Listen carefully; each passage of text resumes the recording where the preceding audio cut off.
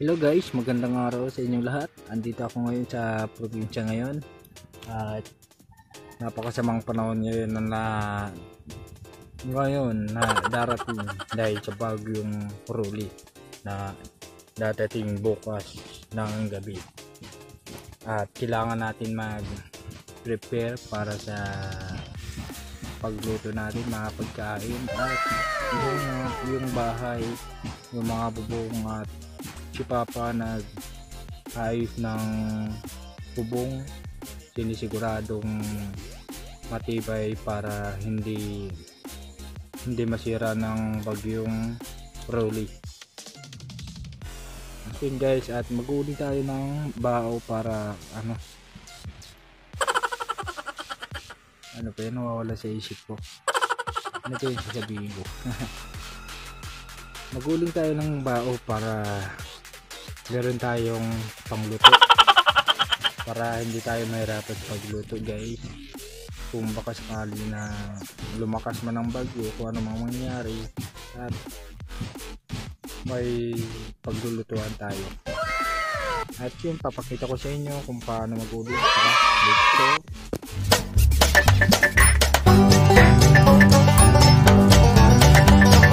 mag maghuhukay muna ako guys. At tara let's go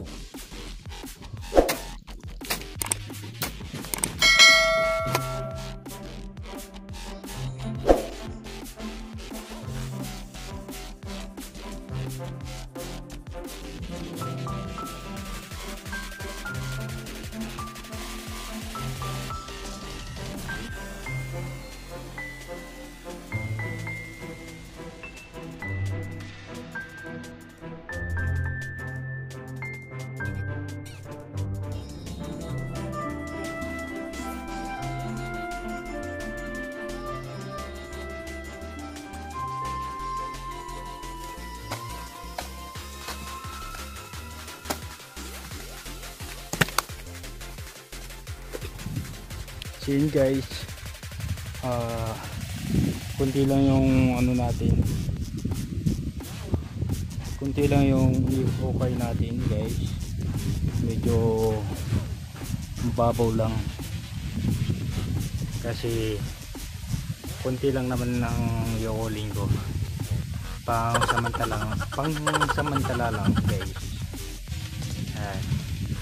medyo napagod ako kasi ito nga pala yung isa malalim. Pangkalahati na yan dito kami na dito kami naguuling pagka maguuling kami ng marami dito. Pero pag konti lang dito na lang. Kaya medyo naghukay na lang ako ng mababaw.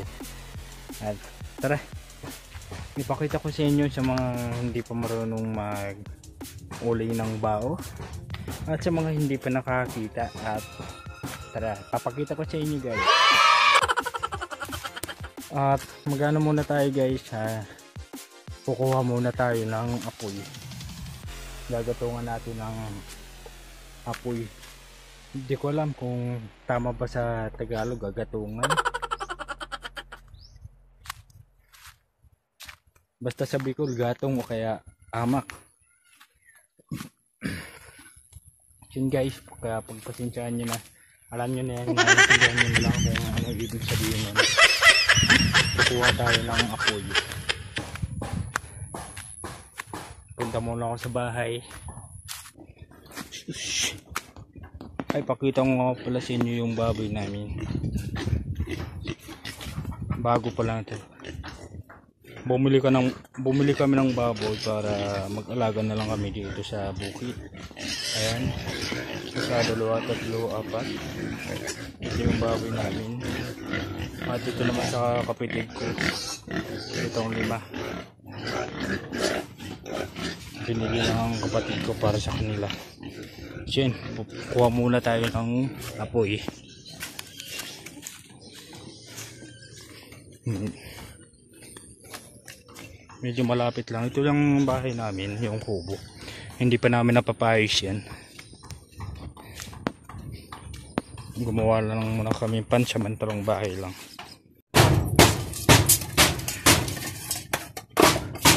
Kukuha muna tayo ng abo kukuha ko ng abo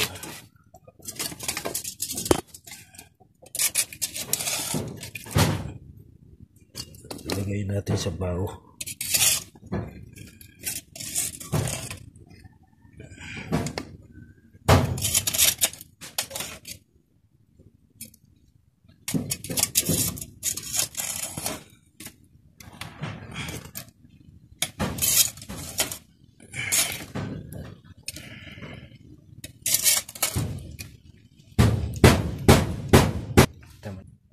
At lalagay tayo ng gas.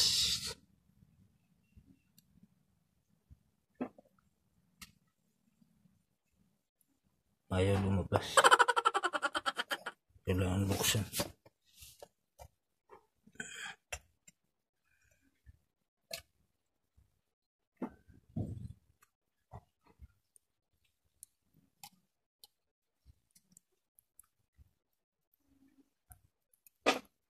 Tama na.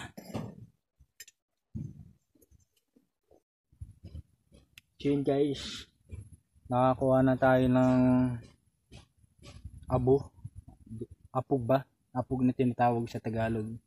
Yung ano ng kahoy. Tsaka itong apog na to na may gas, nilagyan ko ng gas para maano natin. Ano tawag dun? Basta para makagatong. Basta taga, di ko alam sa Tagalog kung anong Tagalog. So yun guys, lalagay natin dito. At papakita ko sa inyo guys. Tala. Sindihan natin ng lighter. Yun. Ilagay na natin to para sigurado. Ayan.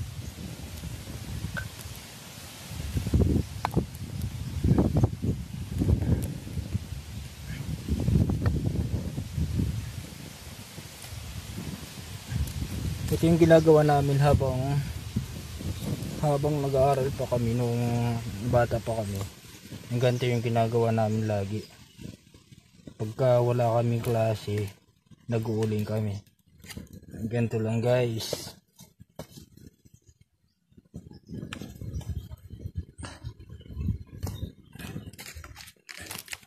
Ulit-ulit lang namin ginagawa to para lagi kami may panggatong.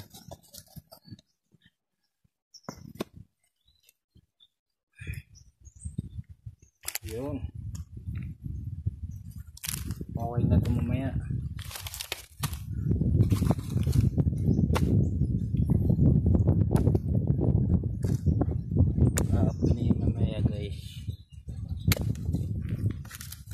Ito yung mga natitira galing dito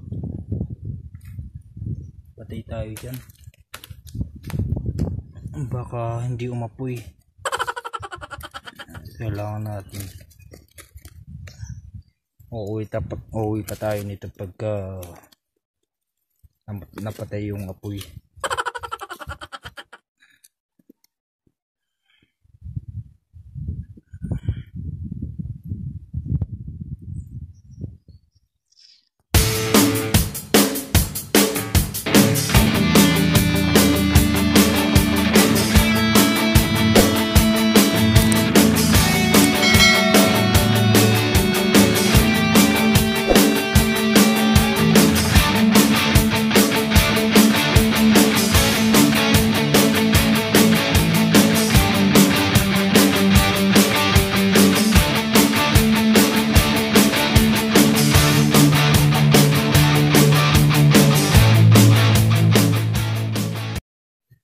So yun guys, uh, napuno na natin at mamaya naman at uh, papapuyin muna natin yung bao, yung inoling natin guys.